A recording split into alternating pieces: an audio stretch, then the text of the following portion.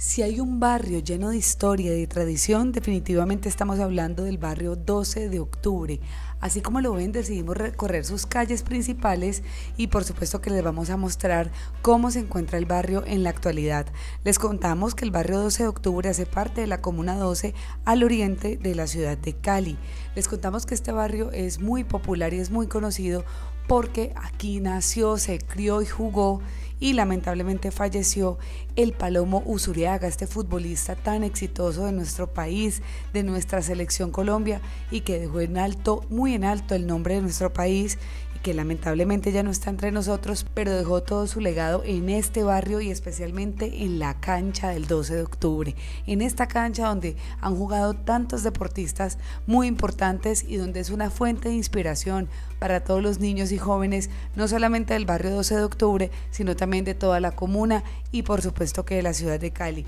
Y aquí queremos recorrer con ustedes sus calles para que vean la cancha que la verdad es bastante grande y siempre hay un grupo de niños jugando. Muchas escuelas deportivas aquí practican diariamente este deporte y hacen que los niños tengan una disciplina, le tengan el amor al deporte y no se fijen en otras cosas. Así que aquí compartimos con ustedes las calles principales del 12 de octubre, vean cómo se encuentran sus cuadras, sus casas, Queremos saber qué recuerdos vienen ustedes viendo estas imágenes y también contarles que el barrio 12 de octubre se caracteriza porque también se encuentra la biblioteca dentro del barrio, centro de salud, colegios, es un barrio que se ha ido desarrollando y también cuenta con una referencia única y son las empanadas de la mona. Vean, nos contaron que estas empanadas son demasiado famosas, no solamente por lo ricas, por lo caseras que son, sino también por su famoso ají. Este es un punto de encuentro para todos los residentes del barrio, de la comuna, todas las personas que van a ver jugar fútbol a la cancha,